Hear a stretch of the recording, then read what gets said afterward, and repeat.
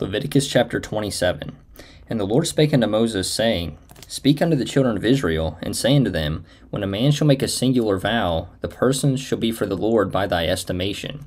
And thy estimation shall be of the male from twenty years old even unto sixty years old. Even thy estimation shall be fifty shekels of silver, after the shekel of the sanctuary. If it be a female, then thy estimation shall be thirty shekels. If it be from five years old even unto twenty years old, then thy estimation shall be of the male twenty shekels, and for the female ten shekels. And if it be from a month old even unto five years old, then thy estimation shall be of the male five shekels of silver, and for the female thy estimation shall be three shekels of silver. And if it be from sixty years old and above, if it be a male, then thy estimation shall be fifteen shekels, and for the female ten shekels. But if he be poorer than thy estimation, then he shall present himself before the priest, and the priest shall value him, according to his ability that vowed shall the priest value him. And if it be a beast whereof men bring an offering unto the Lord, all that any man giveth of such unto the Lord shall be holy. He shall not alter it, nor change it, a good for a bad, or a bad for a good. And if he shall at all change beast for beast, then it and the exchange thereof shall be holy. And if it be any unclean beast, of which they do not offer a sacrifice unto the Lord, then he shall present the beast before the priest, and the priest shall value it, whether it be good or bad. As thou valuest it, who art the priest, so shall it be. But if he will at all redeem it, then he shall add a fifth part thereof unto thy estimation.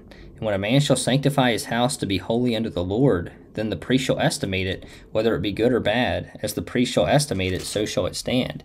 And if he that sanctified it will redeem his house, then he shall add the fifth part of the money of thy estimation unto it, and it shall be his.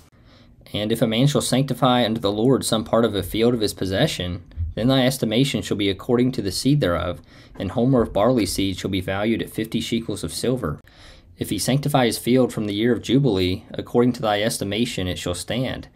But if he sanctify his field after the Jubilee, then the priest shall reckon unto him the money according to the years that remain, even unto the year of the Jubilee, and it shall be abated from thy estimation. And if he that sanctified the field will in any wise redeem it, then he shall add the fifth part of the money of thy estimation unto it, and it shall be assured to him. And if he will not redeem the field, or if he have sold the field to another man, it shall not be redeemed any more. But the field, when it goeth out in the Jubilee, shall be holy unto the Lord, as a field devoted. The possession thereof shall be the priest's. And if a man sanctify unto the Lord a field which he hath bought, which is not of the fields of his possession, then the priest shall reckon unto him the worth of thy estimation, even unto the year of the Jubilee, and he shall give thine estimation in that day as a holy thing unto the Lord. In the year of the Jubilee, the field shall return unto him of whom it was bought, even to him to whom the possession of the land did belong. And all thy estimations shall be according to the shekel of the sanctuary, twenty gerahs shall be the shekel.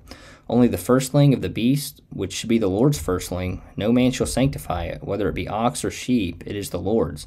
And if it be of an unclean beast, then he shall redeem it according to thine estimation, and shall add a fifth part of it thereto. Or if it be not redeemed, then it shall be sold according to thy estimation. Notwithstanding, no devoted thing that a man shall devote unto the Lord of all that he hath, both of man and beast, and of the field of his possession, shall be sold or redeemed. Every devoted thing is most holy unto the Lord. None devoted which shall be devoted of men shall be redeemed, but shall surely be put to death. And all the tithe of the land, whether of the seed of the land or of the fruit of the tree, is the Lord's. It is holy unto the Lord.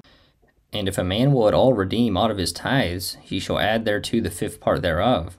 And concerning the tithe of the herd or of the flock, even of whatsoever passeth under the rod, the tenth shall be holy unto the Lord. He shall not search whether it be good or bad, neither shall he change it.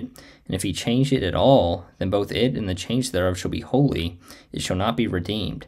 These are the commandments which the Lord commanded Moses for the children of Israel in Mount Sinai.